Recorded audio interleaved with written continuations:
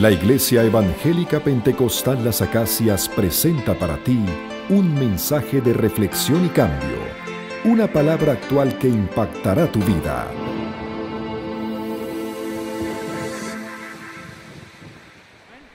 La palabra está hoy nuevamente en Jeremías capítulo 15, versículo 19. Por tanto, así dijo Jehová, si te convirtieres, yo te restauraré y delante de mí estarás. Y si entresacares lo precioso del oír, serás como mi boca. Lee conmigo la próxima frase. Conviértanse ellos a ti y tú no te conviertas a ellos. Repítelo de nuevo. Conviértanse ellos a ti y tú no te conviertas a ellos. Ahí hay propósito de Dios para nosotros. Versículo 20. Y te pondré en este lugar, en este pueblo, por muro fortificado de bronce y pelearán contra ti, pero no te vencerán, porque yo estoy contigo para guardarte y para defenderte, dice Jehová. Bendito el nombre del Señor. Pueden sentarse, mis amados. Hay gente que me pregunta, doctor, pero llevamos un mes hablando sobre estos versículos. Y hemos hablado y usted predicó sobre eso, el pastor ha predicado. Eh, la palabra del Señor no solamente es un texto que usted lee para poder aprenderse. Si usted se acerca a la palabra del Señor para simplemente entenderla, aprenderla, usted simplemente está perdiendo el tiempo. La palabra del Señor es más allá que un texto literario. Es excelente texto literario. Es uno de los mejores textos literarios que hay en el mundo en toda la historia, pero va mucho más allá que usted comprender lo que literalmente dice. Usted realmente Dios le está hablando. La palabra del Señor es inspirada por el Espíritu a los profetas, a los apóstoles, a los diferentes escritores, para que no escribieran conforme a lo que ellos pensaban, sino a lo que el Espíritu Santo les daba que hablaran. Y cuando los profetas escriben, escriben en dos puntos de vista. Escriben para su tiempo y escriben con la inspiración divina pensando en la iglesia que está hoy día aquí en Venezuela. Cuando uno lee la Biblia, uno tiene que mirar primero lo que el Señor le está diciendo al escritor en el momento histórico que se está hablando. Y uno entiende lo que está viviendo. Pero a la misma vez, si yo me quedo con eso, puedo decir, bueno, estos es unos datos biográficos. Esto es algo que ocurrió hace muchos años y no tiene pertinencia a lo que yo vivo. Pero la Biblia va mucho más allá que de datos biográficos la Biblia se muestra con vida a cada uno de nosotros para que cuando yo mire cada historia bíblica, yo pueda meterme en el texto bíblico y darme cuenta que todo lo que ellos están viviendo y todo lo que la Biblia dice que se está viviendo, yo lo puedo aplicar a mi vida diaria hoy y Dios habla a mi vida y me da poder y me da salvación y me da vida eterna. Así que hoy al hablar estos textos, no simplemente vamos a hablar lo que pasó con Jeremías, sino que vamos a hablar lo que Dios está haciendo con nosotros. ¿Cuántos van a recibir la palabra del Señor? Jeremías se desarrolla en un tiempo donde Dios le da una palabra y Dios le dice, mira, yo te voy a convertir en un profeta y todo lo que tú hables por tu boca, voy a ser yo el que la voy a llenar. Y eso te va a convertir en ir en contra de la corriente de este mundo y te vas a convertir en una muralla fortificada, la cual todo el tiempo estarás resistiendo los embates de este mundo, los embates de este siglo, y ellos van a pelear contra ti, pero ellos no te van a vencer y tú vas a prevalecer para siempre. Oye, ¿cuántos saben que vas a prevalecer para siempre? Dile al que está a tu lado, tú vas a prevalecer para siempre. El problema es que si yo me quedo en esa perspectiva, puede parecer un mensaje motivacional. Hoy el doctor nos dijo que vamos a prevalecer para siempre. Y usted sale animado y sale lleno y sale fuerte y sale alegre. Y cuando vaya afuera y coge la primera cola, comienza todo a tirarse al piso. Ay, que llegue el domingo para que me vuelvan a hablar. Y eso no es lo que Dios quiere. Dios quiere no solamente que tú te motives, sino que puedas tener herramientas bíblicas para cuando tú salgas a la carretera, tú puedas aplicar que todo lo podemos en Cristo, que Él nos fortalece. Entonces hoy yo no vengo a animarte, yo vengo a darte herramientas de parte de Dios por la Biblia para que tú salgas allá afuera y le digas al mundo, yo prepárate porque aquí va el Hijo de Dios a conquistar todo lo que Dios me ha dado. ¿Cuántos alaban el nombre del Señor? Si tú quieres conquistar en esta tierra, yo te invito a ir conmigo al libro de Jeremías, capítulo 15. No, perdóname. Primera de Corintios capítulo 10, versículo 31. Primera de Corintios capítulo 10, versículo 31. ¿Están listos? Vamos a ver palabra del Señor. Capítulo 10, versículo 31. Si pues coméis o bebéis o hacéis otra cosa, hacedlo todo. ¿Qué está diciendo Pablo? Que usted tiene que tener una experiencia extrasensorial para poder tener una victoria en el Espíritu. Dice, todo aquel que quiera vencer en la vida, váyase al Ávila, aíslese en el monte, y entonces van a bajar ángeles del cielo, y usted va a bajar con una nueva revelación. Cuidado. Todos los que han hecho eso han caído en falsa doctrina. Porque usted no busca tener una experiencia extrasensorial para poder vivir lo que la presencia de Dios hace en usted. Imagínese, Jeremías está en un tiempo donde él necesita batallar constantemente contra los problemas de la vida. Él no tiene tiempo para aislarse. Él no tiene tiempo para irse al monte. Él no tiene tiempo para irse a un retiro. Él no tiene tiempo para irse a un tiempo con los hombres de valor. Él no tiene tiempo para irse con mujeres. Él no tiene tiempo para estar con la congregación. Él está todo el tiempo batallando. Todo el tiempo peleando. Todo el tiempo luchando. Pero hay algo dentro de él que sabe que él se puede mantener firme. El apóstol Pablo nos da esa característica. Si yo estoy comiendo, ¿cuánto le gusta comer? Hermano, por favor, me miró con cara de steak. si usted está bebiendo, Imagínense que usted está en un gran maratón y ha corrido 40 kilómetros y de momento le dan un vaso de agua bien fría. ¿Qué es lo primero que usted va a hacer? Agarrarse de ese vaso y echárselo hacia adentro y se llena todo de agua. Sea que usted coma, totalmente natural. Sea que usted esté bebiendo algo. Y el apóstol Pablo dice, o sea que esté haciendo cualquier cosa. Estoy con los hijos. Estoy jugando con mis niños. Estoy trabajando. Estoy ganando el sustento. Voy en el metro. Estoy en el camión. Estoy haciendo cola. Estoy buscando alimento. Estoy trabajando por mi familia. Estoy luchando por sobrevivir. Sea lo que sea que usted esté haciendo, lo que sea que yo vaya a hacer, aquí está la clave y apúntelo bien, yo tengo que hacerlo para la gloria de Dios. Aleluya. Mire, aquí se nos va la vida en esto. Porque si yo hago las cosas para que la gente me aplauda o me reconozca, estoy perdido. Porque en el momento en que no me aplauden y no me reconocen, ese momento caigo en depresión, en ansiedad y me voy hacia un lado. Si yo hago las cosas por tener dinero, el día que no tengo dinero, entonces me atribulo, me frustro y, y siento que me voy a morir. Si yo vengo a la iglesia porque estoy buscando que la gente me reconozca y sepa que ahí llegó el gran maestro, ahí llegó el doctor, ahí llegó el... Eh, y el día que no te lo reconocen, ese día te vas al suelo.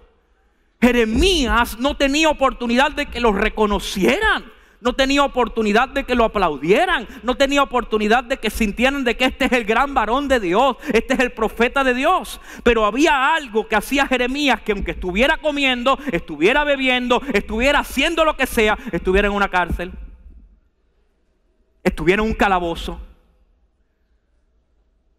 Todo lo que él hacía, lo hacía con el fin de traer gloria a Dios.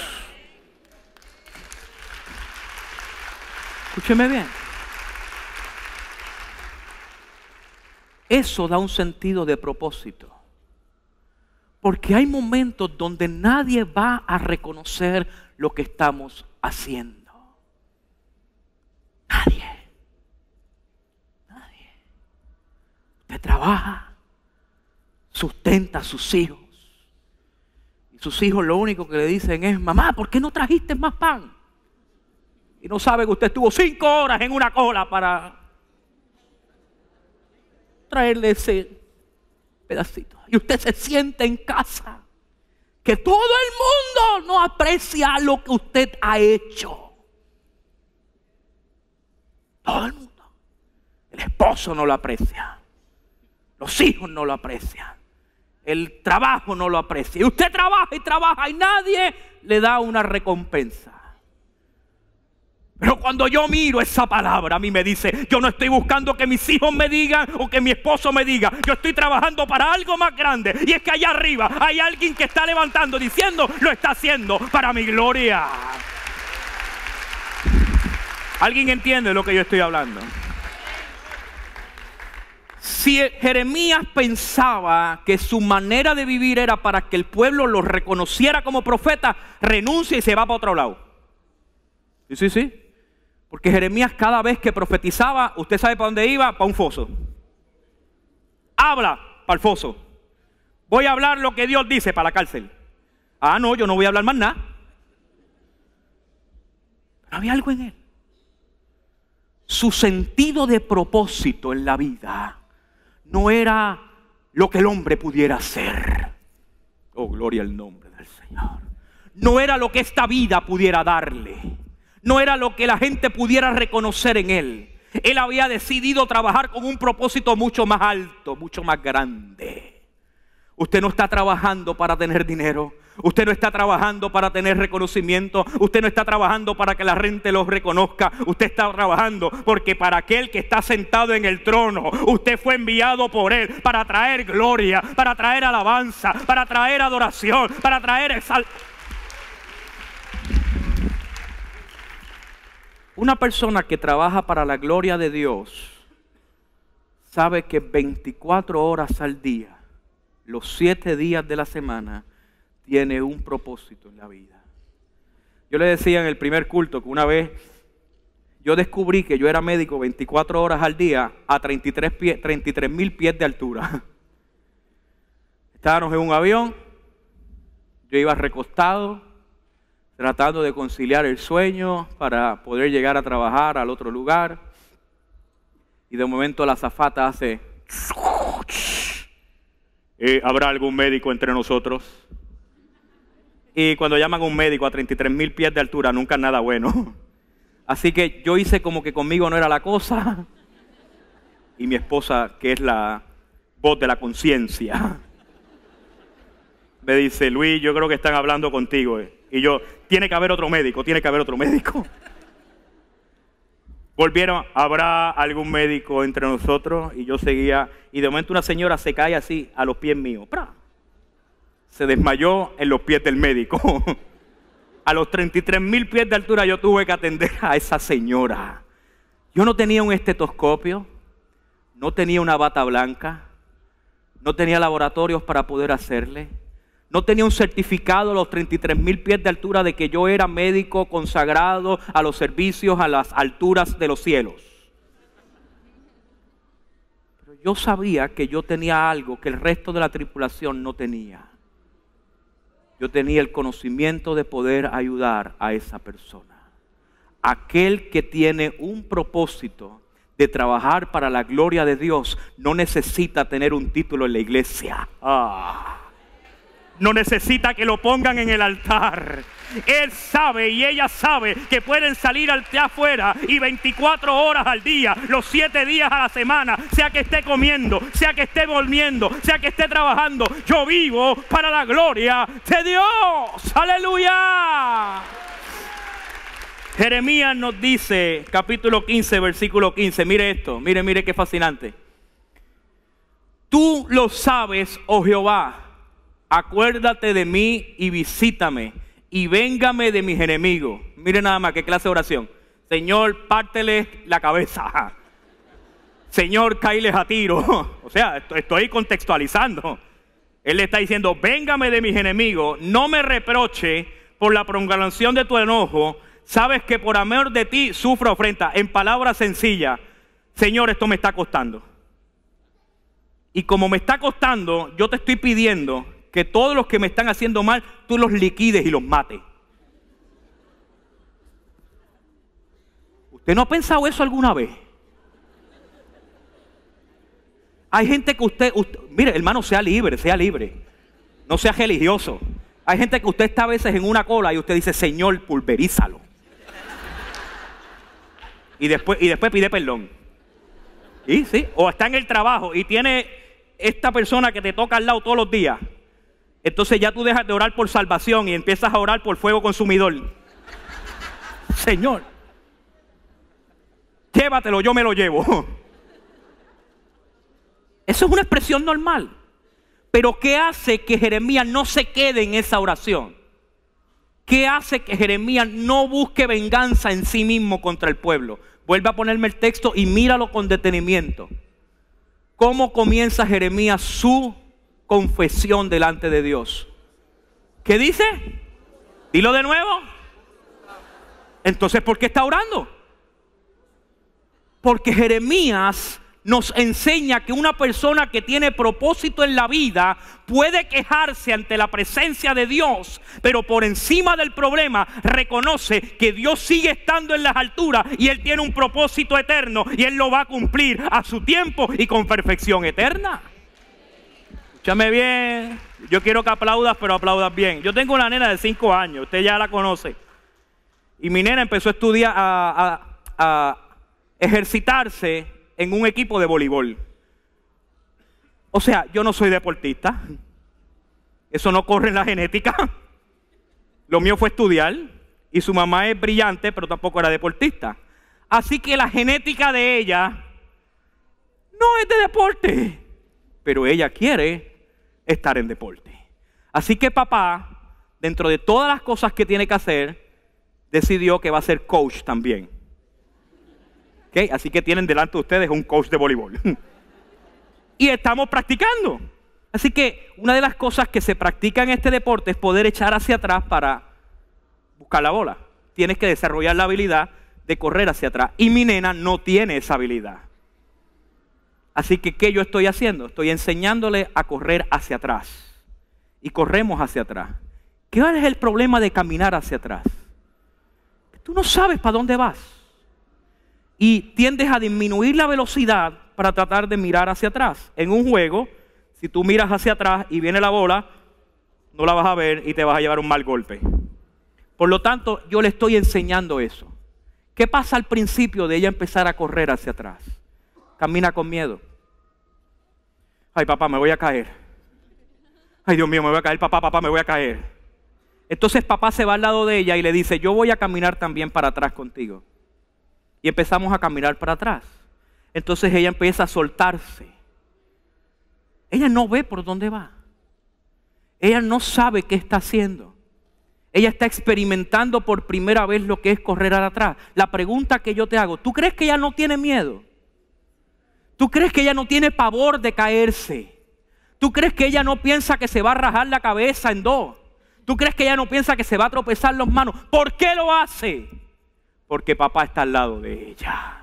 Y hay una confianza que se le ha creado a ella que dice, si papá está caminando para atrás también, papá va a cuidarme y a mí no me va a pasar nada. Yo puedo quejarme de que tengo miedo, pero papá está al lado mío. Yo puedo quejarme de que no sepa dónde voy, pero papá está al lado mío. Yo puedo quejarme de que no sé si mis pies se van a tropezar, pero mientras mi papá esté al lado mío, él me va a coger. Jeremías está diciendo, antes de que yo me queje, yo quiero decirte que tú eres mi papá. Y si tú eres mi papá, yo voy a quejarme, pero voy a seguir caminando a donde tú quieres que yo camine.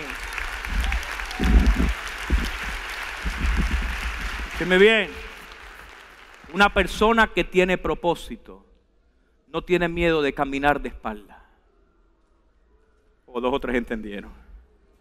Una persona que tiene propósito en la vida no tiene miedo a lo desconocido, porque sabe que papá ha prometido velar de él todo el tiempo. no importa la situación en la que tú estés, las manos del Señor van caminando alrededor tuyo. Jeremías le está diciendo al Señor, Señor, yo quisiera que tú me vengaras. Yo quisiera que tú pelearas por mí. Pero antes de cualquier cosa que tú escuches mi enojo y mi coraje, y mi frustración, yo quiero declararte algo. Tú sabes todas las cosas. ¿Te atreves decirle al Señor, Señor, tú sabes todo? Dilo, dilo, tú sabes todo.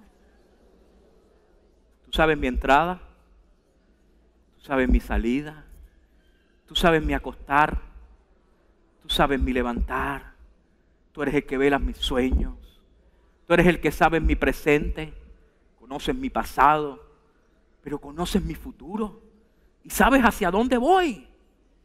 Eso no te da seguridad, hermano. El mismo Dios que te cuidó ayer, que hizo levantar el sol sobre esta tierra, ¿usted se cree que se ha olvidado de Venezuela? Oh, querido hermano, el mismo Dios que escribió la historia de Venezuela está escribiendo la historia del futuro y tú estás metido dentro de esa historia.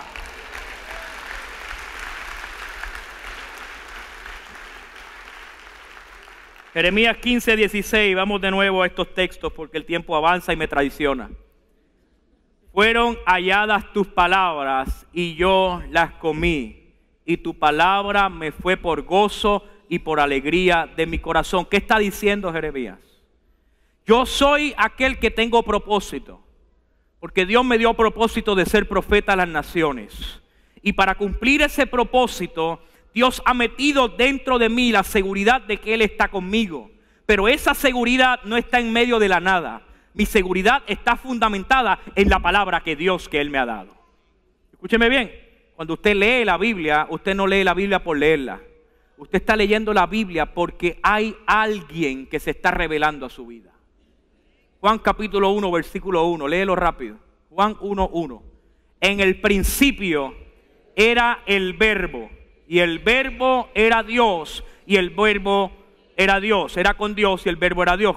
En el griego original, la palabra verbo no es la utilizada, es la palabra logos. Y logos realmente se traduce como palabra. Ahora vamos a leerlo de nuevo. En el principio era la palabra. Y la palabra era con Dios. Y la palabra, ¿de quién está hablando Jeremías? Jesucristo. Jeremías está diciendo, lo que yo he obtenido no es un concepto extraño. Yo he tenido una relación con el Dios verdadero. La palabra no te brinda una religión porque tú no te disfrutas una religión. Se quedaron dos o tres así mudos. Si usted viene aquí a disfrutar los cánticos y la palabra y aquello, usted sale como que, ay, estuvo bueno, chévere, qué bonito pero usted se va a ir solo. Pero cuando usted se da cuenta de que lo que se le está hablando no es una religión, sino una relación con el Cristo resucitado, aleluya. Usted puede saborearse esa relación.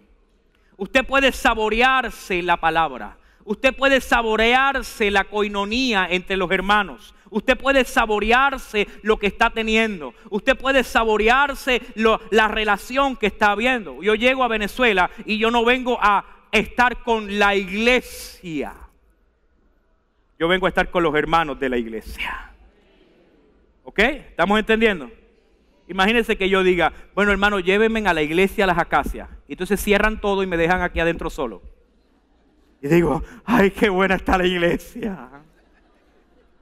Qué bueno están los bancos. Qué bueno está el templo. Eso no se saborea.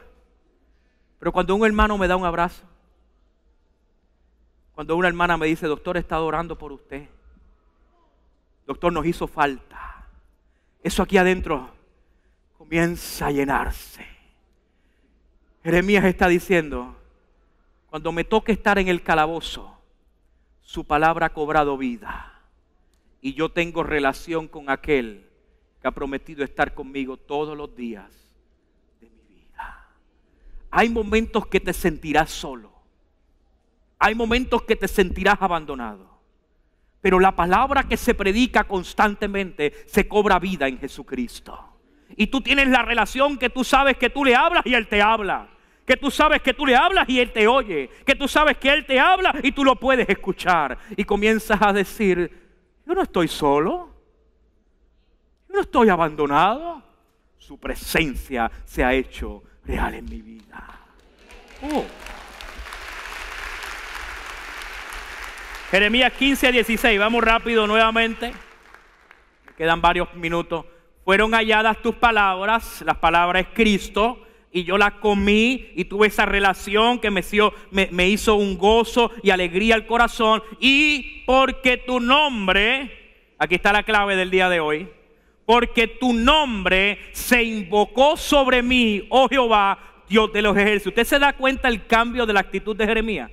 Jeremías se está quejando pero de momento algo lo hace levantarse. Yo comienzo a declarar el nombre de Jehová de los ejércitos y me doy cuenta que no estoy solo. Hay un nombre que tiene que ser invocado y es en ese nombre que somos salvos. Cuando yo invoco el nombre de Jesucristo, yo puedo estar en el peor de los casos, que yo puedo saber no solo que Él está conmigo, sino que toda su autoridad se me ha dado en el cielo y se me ha dado en la tierra por medio del nombre de Cristo.